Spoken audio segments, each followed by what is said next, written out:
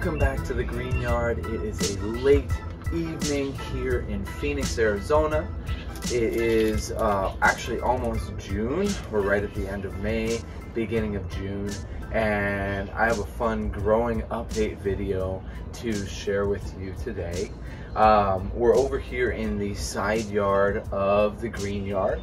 I've mentioned before with some videos that I did over here, like our uh, planting of our fruit punch mango, as well as our planting a Sapodilla or a Chico Sapote, um, that while our other side yard is that beautiful tropical food forest that we just did that video on, we also have another side yard to our house, which is more typical of what you see of a side yard. Uh, it's a little bit less than six feet wide. Um, obviously, we need a little walkway to get to this gate behind me. Um, but my experiment was with the side yard when I first started this and I planted that fruit punch mango was to see if I could grow, uh, you know, these tropical trees, kind of this food, mini food orchard on this left side here um, against the wall and still have enough space to walk as well as get that pro production and productivity from this part of the green yard. Um, I'm able to plant a lot of these tropical trees uh, because it actually gets afternoon shade after about 2.30 in the afternoon, which if you've watched my channel for a while, you know that that's a little late for our tropical trees. Usually they only like to have sun until about 10 o'clock, maybe push it to 11 o'clock in the morning. And obviously 2, 3 in the afternoon, that's definitely pushing uh, a little bit for their tolerance of our summer sun. But they've actually been doing really well and some of our mango trees have actually thrived uh, and done way better than uh, like our Carrie mango on the other side. I mentioned that with our tropical food forest this actually I'm sorry I mentioned that when we planted our Alphonso mango that um, the structure of that um, tree the Carrie mango tree is nowhere near what the structure of this tree is here uh, these trees here. This is our spirit of 76 mango and they have been doing really really well this year. They're actually holding on to fruit.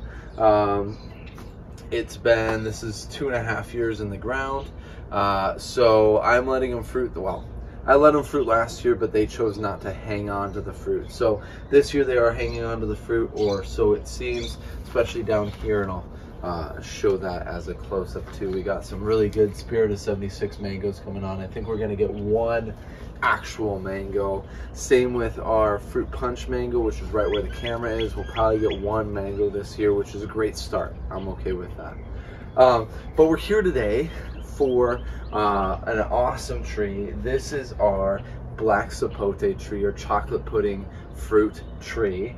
Um, the reason why I wanted to showcase it is because it is blooming. This is actually its third season of blooming because um, when we when we moved into the green yard I planted it actually in the fall of, of that year the fall of 2020 so I planted it overwintered it actually did really well with our winter um, and then that spring, it got like one, I think it had one blossom on it, one flower on it.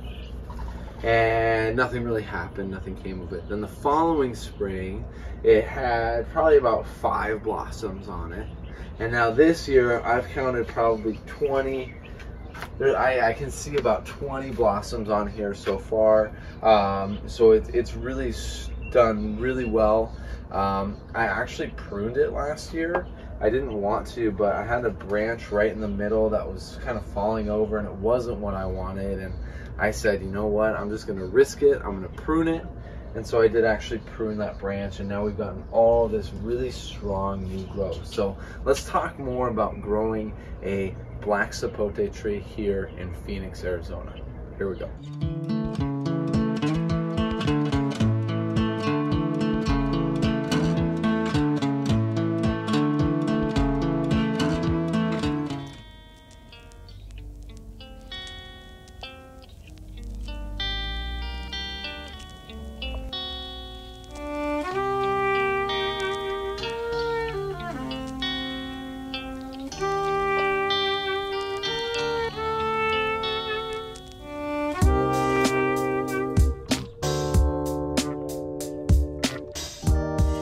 Right, so with our black sapote tree, once again, um, another one of those ultra tropical trees.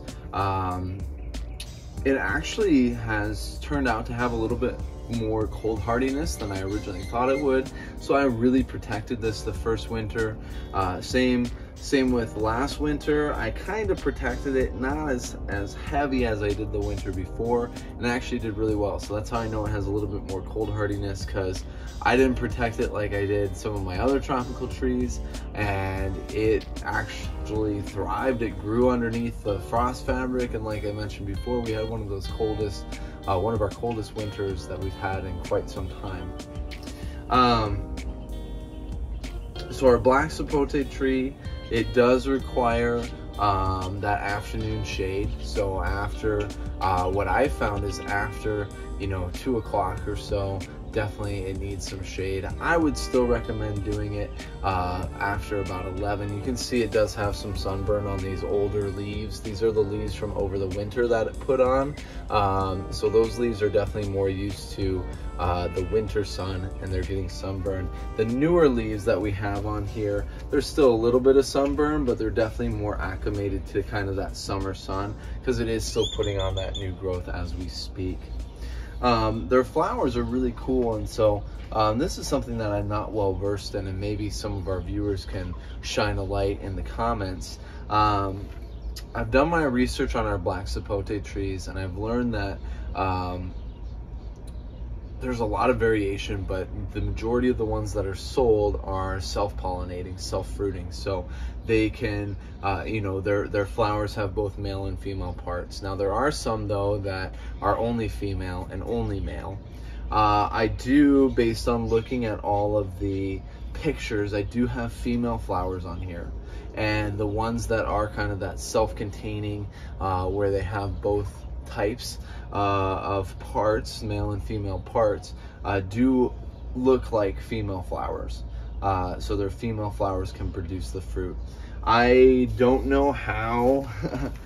I, I don't know if this is is a variety that that can uh, you know, self-contained. It can produce that fruit. It can create its own fruit. Or if I need to get, uh, you know, another tree that's a male tree, I, I really don't know. And so maybe that's something that our viewers can can shed, some light on. I've done my research. Uh, I'm trying to find some way to hand pollinate these. Um, one of our, I've seen a lot of ants go in and out of the, the flowers, which is great. Actually, one of our main pollinators here in the green yard are ants. All of our mango trees are pollinated by ants. Uh, same with our papayas, what I've seen, they're pollinated by ants. Citrus, um, our bananas are all pollinated by ants. So for those of you thinking of getting rid of, of all of your ants, just keep in mind that, you know, they actually are a really great pollinator here in Phoenix. And uh, that is definitely how my mango trees are pollinated because those flowers are covered in ants. So I'm seeing a lot of ants on here. The problem is I'm not seeing any fruit set. Like here's a blossom right here um, that I did hand pollinate as well. Uh, tried to stick a Q-tip in there, kind of um, get the little fluffy part at the end of the Q-tip, try to get some of that pollen, spread it to a different flower. It's not working. Um, so I don't know if there's some tips or tricks. Here's another flower that fell off. Um, so I don't know if there's some tips or tricks. Actually, that one might have pollinated.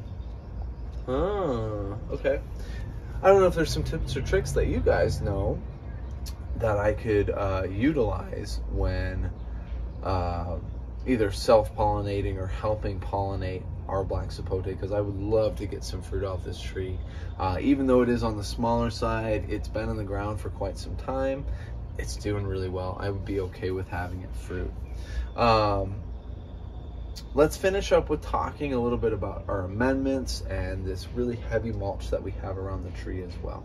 Here we go. All right, so I'm here with our black sapote tree. Um, you'll notice that um, I have some pretty heavy mulch around. That's actually new mulch. I just put it down. Um, when we have our flood irrigation, it kind of comes in quick through this area and oftentimes we'll take some mulch with it. So we actually haven't had very thick mulch around our black sapote for the last about uh, eight months to a year.